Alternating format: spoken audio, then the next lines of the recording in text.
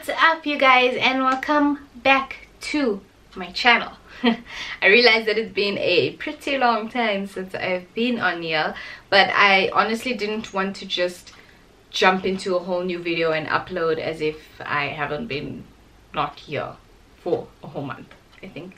It's been almost a month. It's pretty much been a month so hi welcome back. Today's video is going to be another random ramble um, I haven't done one of these in a while so if you guys don't know what a random ramble is it's basically a video where I just sit down and I talk about things and I just rant and let some stuff out and hopefully you guys have a bit of a takeaway from everything that I was complaining about. Nose itchy as usual. I feel like I have a lot to talk about today so thank you for clicking on this video and um, hopefully you guys will be able to relate to some of the stuff that I'm going to be talking about. And if not then yeah you can sit and listen to me complain about life. So I hope you have a hot cup of something as usual. I've got not coffee. I've actually got a cappuccino today instead. Not the healthiest but it's a bit of a comfort drink. Um so grab yourself a hot cup of something or a hot mug or something or a glass of something. And let's get straight into this video. Which way do i usually point? It's been so long i don't even know which way i point anymore. So you guys i had a lot that i actually wanted to chat about but then i was thinking eh, do people really want to hear about this? Um no they probably don't so i'm not gonna do it. Then i decided you know what? Whatever i'm just gonna put it on the camera and just talk and see what happens whether this video gets uploaded or not and whether it does get uploaded and it doesn't get the attention that I think it was that I thought it was gonna get or not whatever it's there. So first things first obviously 2020 started on a really really really good note um, because you know I got engaged in December. Every time I say I'm engaged I always have the need to show the ring. That's so extra anyway um so 2020 started on a really good note. I was so flipping excited for this year. You saw my bullet journal. If you guys didn't you can go check it out on instagram. I had like my bullet journal set out. I was so ready for this year.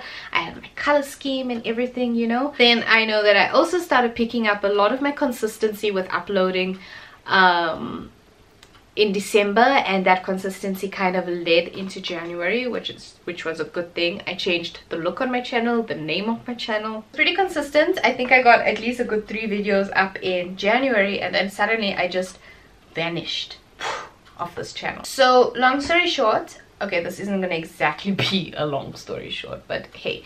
Um, so we had our engagement party in February but in the weeks from January leading into February and then from February leading into the engagement weekend I just I completely fell off the wagon again. Just when I say this I mean that in January you know I had this I was so ready to like take on this year and then leading to February I was like yes month two of 2020 i'm gonna do this. I had a bomb gym plan i had my study plan set out i had an eating plan. I was so ready. I was even ready to be active while we were on holiday. You know i was gonna go for a jog i was gonna do this i was gonna do yoga etc etc but that just that didn't happen. But then when february came around i just didn't wake up for gym. And then i didn't go to gym and then I started eating bad and then I started ordering food almost every day because I was way too flippin' lazy to make my own lunch at home. I stopped studying as well and now once again I'm a bit behind in my studies according to like the schedule that I had set out for myself because the course is self-study. This was all because I had a teeny tiny little anxiety attack in like January. I don't know, it was just one of those usual panic moments you know? And i ended up feeling very anxious towards the end of january which is why i put together this whole plan for february. Um, and i was so ready to take you know i was so ready to take the month on. And then boom i just took all that anxiety into february with me and i never took on my plan. Okay i'm coming. Fast forwarding to after the engagement trip I got back home and then I was like right back to work back to normal. Let me put this plan into action and let's toffee.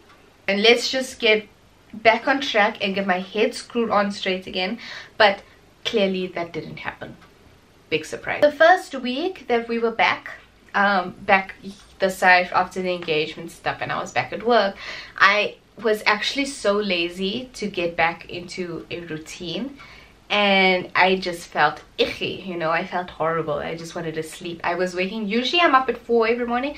I was waking up at half past 6 for work, which is terrible. It's two and a half hours later, you know. That's how lazy I actually got, that I couldn't even wake up in the morning. One of the reasons, now this is a bit of a, I don't know, I've never spoken about something like this before on my channel, but I'm gonna do it today because, you know, I don't, I don't care. I just I realized the reason that why I was feeling so blah was because I know that end of last year I had picked up some weight. And um, the reason why I picked up this weight was because of the patch. And for those of you who don't know the patch is a contraceptive. It's a form it's like a plaster but it's got the hormones so you absorb the hormones through your skin. So it's a contraceptive patch basically. And um, this is the one form of contraception that is prescribed mainly and very commonly to women who have very very very bad period pains. But the one of the really bad side effects of the first six months of getting used to the patch and getting used to the whole cycle and stuff is weight gain. And weight gain like really quick. And i know that this is this is a bit of a controversial thing to talk about and everyone has different views on this. Everyone views everyone differently. Everyone views themselves differently and body image is just it's just a whole other thing that can be spoken about. Um i didn't it i picked up enough to move me up uh, a whole dress size in like everything like from jeans to something as simple as like a button-up shirt i moved like two sizes up in that kind of stuff you know? So that was enough to make me feel so horrible and icky about myself that i just saw no point in going to gym. I was just like i like eating. I like the yummy things. I don't care. I'm just gonna indulge. So basically i'm gonna be honest i didn't fall off the wagon here. I willingly stopped and jumped off and waved the wagon goodbye and I kept blaming all of this on work is too hectic. I'm tired because of traffic. Um, I slept late because I was, I don't know, doing whatever. It wasn't anything constructive. That's why I can't wake up. And, you know, I was just, I was coming up with excuses for everything, which seemed very, very legit at the time. You know, they made sense to me at the time now when I think back I'm like really seeing it. So I stopped gym, I stopped eating properly and all of this actually came down to a point where I wasn't doing the simplest things like waking up early, reading every day, doing my yoga, doing meditation. Right down to the point where I wasn't like I wasn't bothered to wash my face properly. I was just taking my makeup off and like throwing some random cream on my face and ah, I'm good. Let me go sleep because I'm tired and then obviously again i think i mentioned this i stopped studying and i just like completely forgot about my course. And all of this just snowballed and snowballed. And it just it got to a point where on my way back from work the one day i felt like i was trying to like shoo a mosquito away.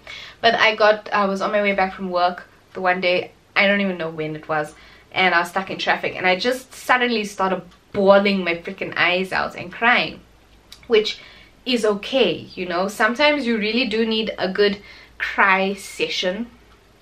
What do you call it? Yeah. You need a good cry alone in your car with angry music playing to be alone with your thoughts and just like let it all out with no one around you even though the person next to you in the next lane is looking at you like you're psychotic. But um, it really is a good therapy session. Then on top of all of this when I tried again and said Monday I'm gonna start, I got sick that Saturday. And I got the flu, like a mild flu, but still I felt horrible. And it all started with like hay fever. And then my hay fever turned into like a sinus infection and then that turned into a bit of a flu. So I was down for a good four days until I started feeling normal again.